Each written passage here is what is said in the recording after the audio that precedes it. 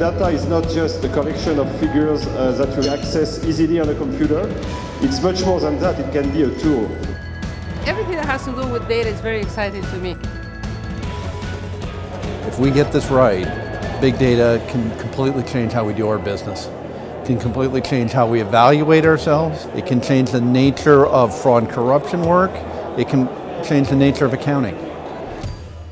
The potential of meetings like this is in bringing together and leveraging different views on issues that we're all struggling with jointly.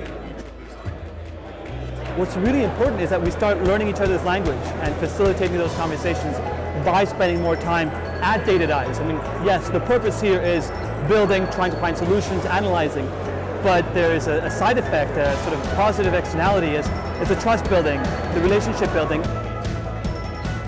Another big issue with big data is context. You need to understand a country context and a cultural context to understand what the data is telling you. We also need to, to move away from just doing interesting, nice, cool stuff with the data to produce something everybody, not just the researchers, but everybody, your mother, your father, your grandparents, can absorb and understand. People who produce the data, you can think of them as composers, I guess. Composers who produce the music. And uh, I think getting people who can also play the music and maybe people who can make the instruments I think that's, that will be extremely useful. I think this event does bring those kinds of people together. After working with big data for a while, you get used to the cycle of what you're going to have to do. And so you know you have to clean the data, you have to analyze the data, and then visualize the data, and then rinse and repeat. And that's the entire process. We took open data from the World Bank and open data from the scientific community and took the satellite data, put it together with the poverty data, and built interactive visualizations and statistical models to try to understand better the relationship between light and poverty. I'm seeing uh, folks at the bank, experts in uh, poverty, anti-corruption work, the operations and activities of the bank, for the first time uh, playing with these ideas of uh, using data in innovative ways, meeting computer scientists, statisticians from outside our institution who have new ideas and can apply it to these problems. So I think the biggest thing we'll see is connecting some dots between this institution and uh, experts outside it who have something to add. To have people coming in with new ideas of where to get the information from, where to pull that information from and how we can use it is, is excellent for our work because we tend to just react to allegations and we're trying to be more proactive in our work. It's something that's really exciting to me to see things I had never even considered or were possible. i am seeing here on display, and it's, uh, it's it's really quite exciting to see how that how that's being done.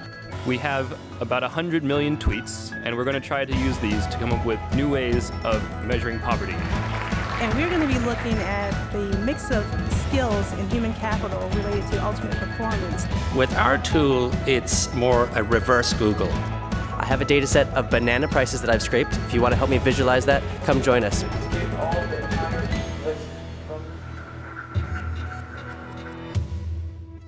I'm thrilled by, by the fact that different agencies have come together. So it's not just the World Bank, but we have UNDP, Global Pulse, QCRI, UNDB. So we've all come together to address common shared challenges. That's fantastic. And even within the bank, we brought a whole range of people from different parts of the bank together to work on common issues. To me, that's phenomenal. These events, they raise a lot more questions than they answer, and that's the beauty of data. During these two days, I've seen a very uh, creative usage of the data that we have.